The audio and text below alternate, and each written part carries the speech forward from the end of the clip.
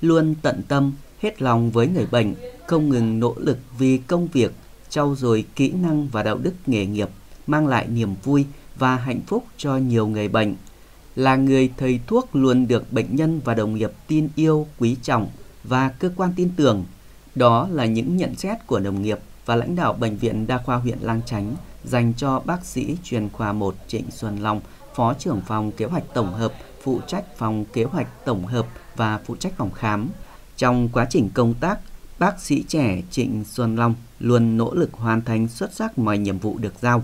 Việc khám, chữa bệnh luôn được bác sĩ chủ động tham mưu cho ban giám đốc bệnh viện, đưa ứng dụng kỹ thuật mới vào chẩn đoán và điều trị bệnh, góp phần nâng cao chất lượng khám chữa bệnh của bệnh viện, đưa bệnh viện từng bước làm chủ các kỹ thuật y học mới, chuyên sâu, mang lại lợi ích cho bệnh nhân.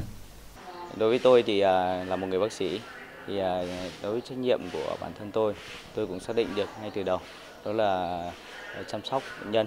À, đối với bệnh nhân đến viện chúng tôi thì tôi cũng coi như là người nhà của mình, cho nên luôn tận tịch, chú đáo hết mức có thể. Đối với bản thân tôi thì lấy bệnh nhân luôn là trung tâm và cố gắng hết sức vì à, bệnh nhân.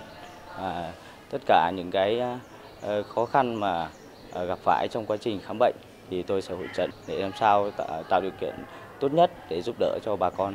Quá trình công tác, anh vận dụng những kiến thức đã được học và không ngừng học hỏi, năng động, sáng tạo, chủ động nghiên cứu khoa học để làm tốt công tác chuyên môn. Trong quan hệ ứng xử với đồng nghiệp, bản thân anh luôn giữ thái độ hòa nhã, niềm nở. Vì thế, anh luôn được đồng nghiệp quý mến, được cấp trên tin tưởng. Năm 2023, anh được bổ nhiệm Phó trưởng phòng kế hoạch tổng hợp phụ trách phòng kế hoạch tổng hợp, đồng thời phụ trách phòng khám. Không kể ngoài giờ hay ngày đêm, bất kỳ lúc nào bệnh nhân cần đến là bác sĩ Long đều có mặt để khám, cấp cứu cho bệnh nhân. Chính lòng đam mê, nhiệt huyết với nghề đã gắn kết bác sĩ với người bệnh. Nhiều các bệnh khó, nguy cấp đã được bác sĩ chẩn đoán chính xác và điều trị kịp thời. Là cán bộ trẻ, bác sĩ trực tiếp điều trị bệnh nhân chủ yếu là các trường hợp mắc bệnh nặng, nguy cơ đe dọa đến tính mạng, cho nên công tác cấp cứu phải hết sức khẩn trương, đưa ra chẩn đoán đúng và phát đồ cấp cứu kịp thời cũng như tiến hành các thủ thuật hồi sức cấp cứu. Với những cống hiến và thành tích trong công tác chuyên môn, thời gian qua, bác sĩ chuyên khoa 1 Trịnh Xuân Long, Phó trưởng phòng kế hoạch tổng hợp phụ trách phòng kế hoạch tổng hợp và phụ trách phòng khám đã được các cấp các ngành biểu dương khen thưởng.